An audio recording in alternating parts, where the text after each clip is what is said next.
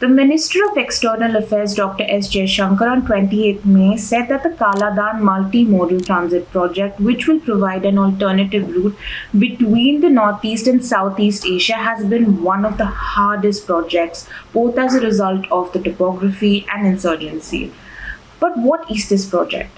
The project was launched in 2008 under the Look East policy, now the remodeled Act East policy, and aims to connect the Northeast with Kolkata through the Sittwe port of Myanmar via the Bay of Bengal. Now, more than 14 years later, the 2023 deadline also seems elusive.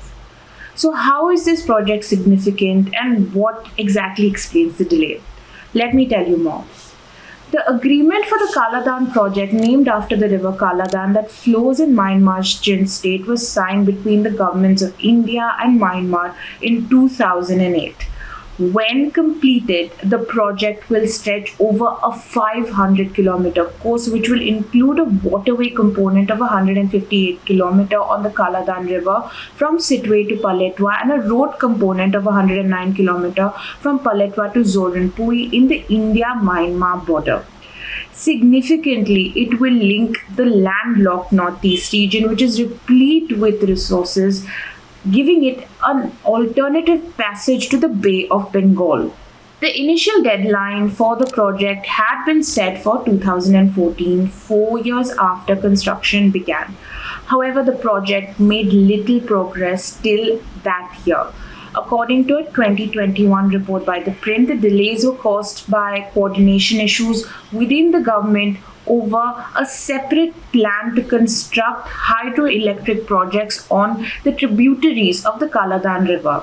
Then there were also issues that arose from the underestimation of the road length in Myanmar. The construction of the road stretch in Myanmar had also run into troubles as C&C Constructions, the contractor selected for the projects, declared bankruptcy in 2019. Then, as the project was subcontracted, the pandemic struck. Construction remained suspended as a result. Addressing a Nadi or river conclave in Guwahati on Saturday, Jaishankar said, and I quote, the Kaladan project is taking time because it is in a logistically difficult part of Myanmar.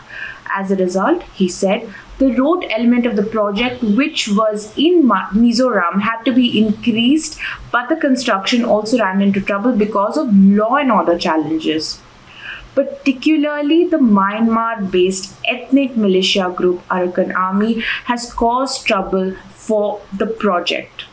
In 2019, the group had kidnapped an engineer involved in the project. Following this, there were also incidents of standoff firing and a mine blast.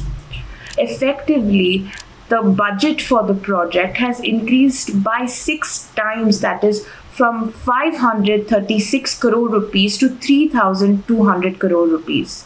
In November last year, Mizoram Governor Hari Babu Kambhampati had said that the project was nearing completion within the Mizoram side. For the Princess Angana Chakrabarti, to read about our coverage of the Northeast, log on to the print.in and follow us on our social media handles.